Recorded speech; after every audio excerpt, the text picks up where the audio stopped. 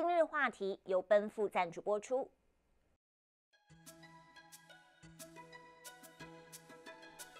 请上 penfolds.com 发现更多葡萄酒佳酿。奔赴遇见不凡，请理性饮酒。话题，欢迎收听由钟讯和高宁为你主持的今日话题。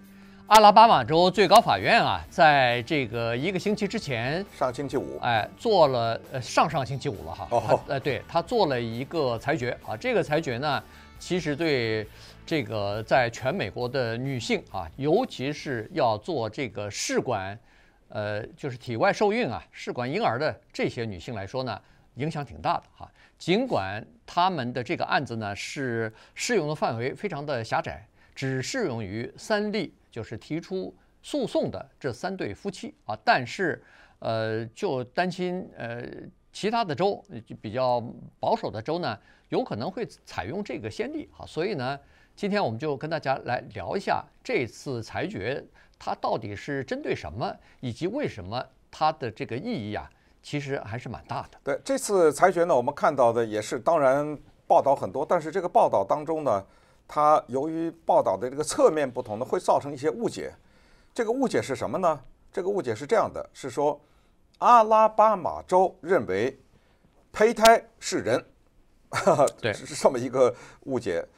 所以从此以后，如果你毁掉了胚胎，就等于你杀了一个人。啊，这个。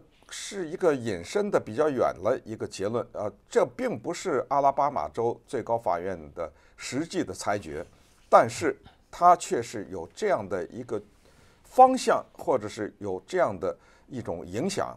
这对于在美国堕胎大战当中啊，这是一个非常重磅的一个炸弹。它回到了人的一个最根本的问题，就是当卵子。和精子结合的那一秒钟，不管是在体内还是在体外，他是不是一个人？这是第一句话。第二句话是，这个结合起来的东西，英文叫 embryo，中文叫胚胎啊。他享受不享受一个生出来的人那样的权利？这个人生出来了，我抱在怀里那一秒钟，他有很多的很多的与生俱来的权利。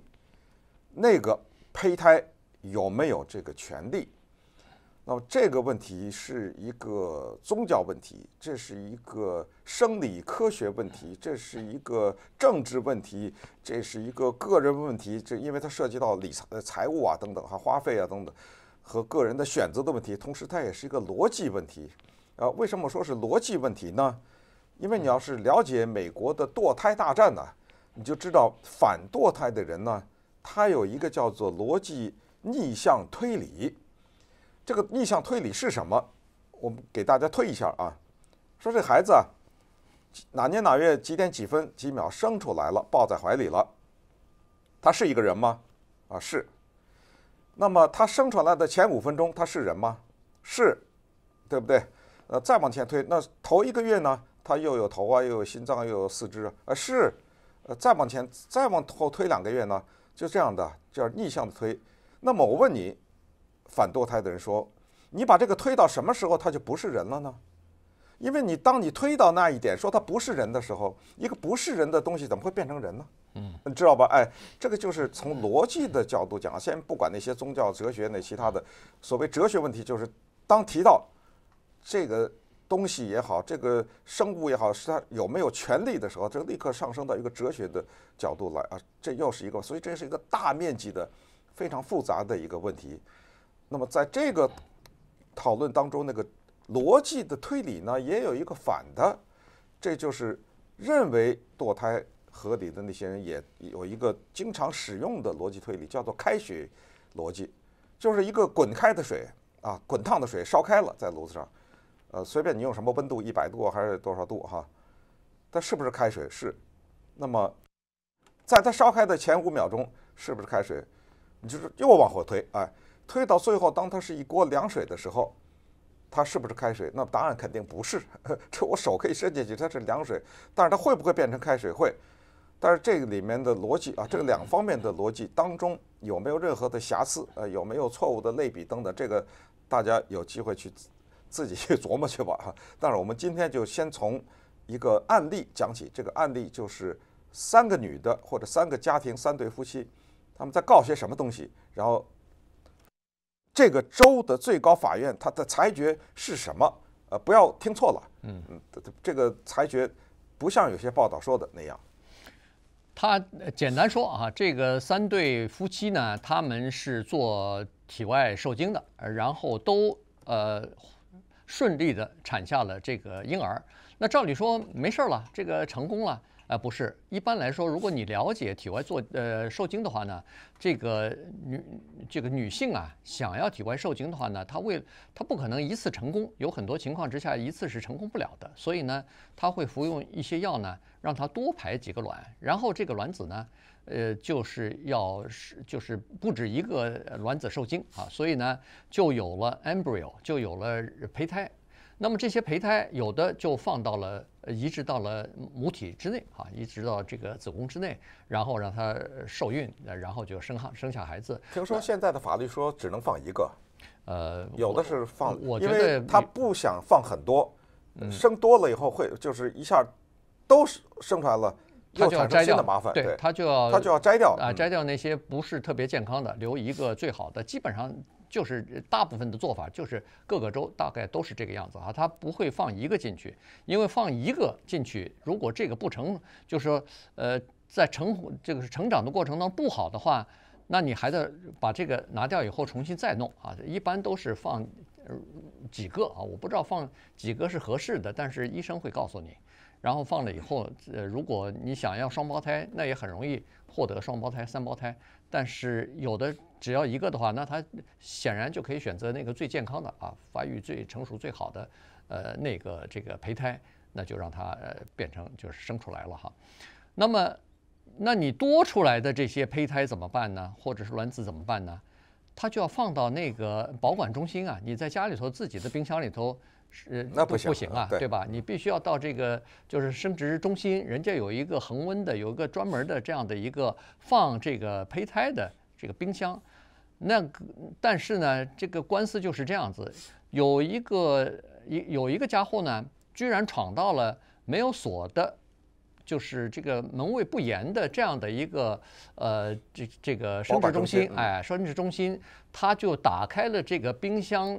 拿，然后他去拿了两管那个胚胎，他放到里头胚胎，但他没有想到的是那个温度比较低，所以呢，他我是不知道，我看这个报道呢是说，因为他手一抖，也或者冻僵了或者怎么回事，反正不小心呢，这两胚胎就掉到地上，那在试管里头，那肯定掉地上摔碎了就死，这胚胎就死了。对，死了以后，那这个人家保管胚胎的那三对夫妻不满意了。就把这个生殖中心告到法庭上去了，告到法庭上去，要求除了赔偿之外，还要求叫做惩罚性的赔偿。原因就是说，你把我孩子弄死了，对对，是你杀人了，啊，你这哎对于是这个生育中心当然不服气啊，就这个这个就打到官司上了。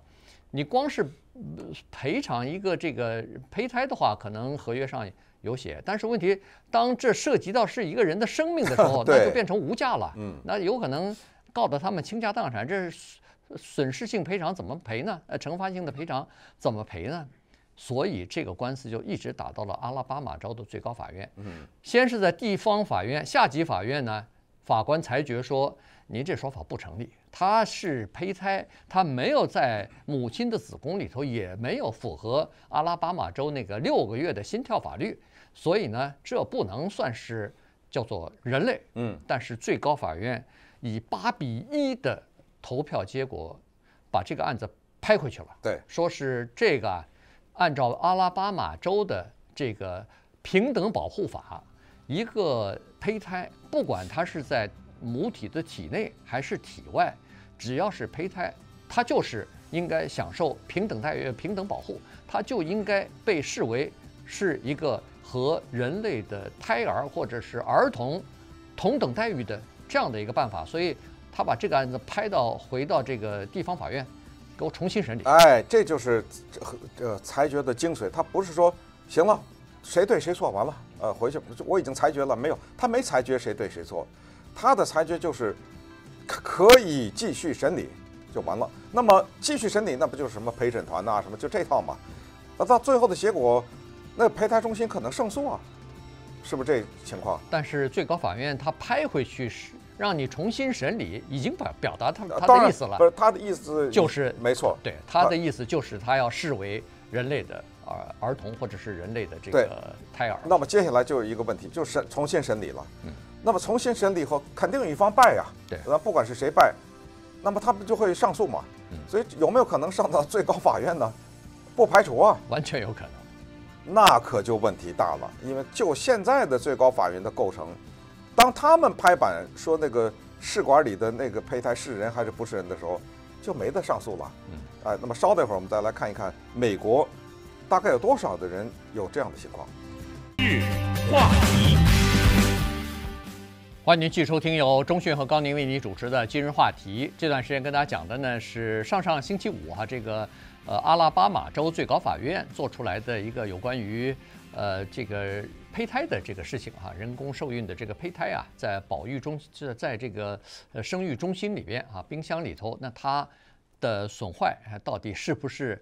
等于是谋杀啊一个生命，呃，这个做出这么这么一个裁决来，那这个裁决影响蛮深远的哈。所谓的影响深远，就是他对这个，呃，就是人类的生育中心呐、有很多呃美国的家庭，呃，他们需要用人工受孕的办法，用医疗治疗的办法呢，来帮助自己怀孕，呃，然后生孩子。在美国大概有多少这样的人呢？据说在根据现在的数字统计呢，在美国男性有百分之九，女性有百分之十一是属于医疗上的的这个叫做不孕有不孕症的这个问题，所以他们必须要依靠呃医生的帮助啊，然后在体外受精，呃，最后呢怀孕。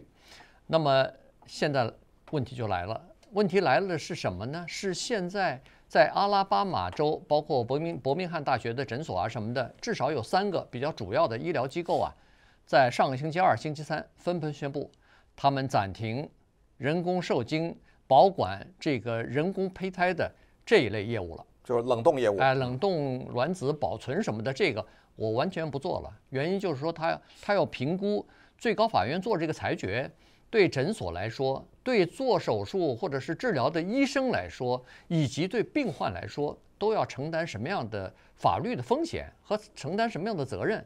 你不要说你存了三个这个冷冻的胚胎在我的这个生育中心，我收取每年收取一个呃挺低的费用，就到时候要销毁的时候怎么办呢？这算不算杀人罪啊？对这这我们诊所是不是要承担这方面的风险呢？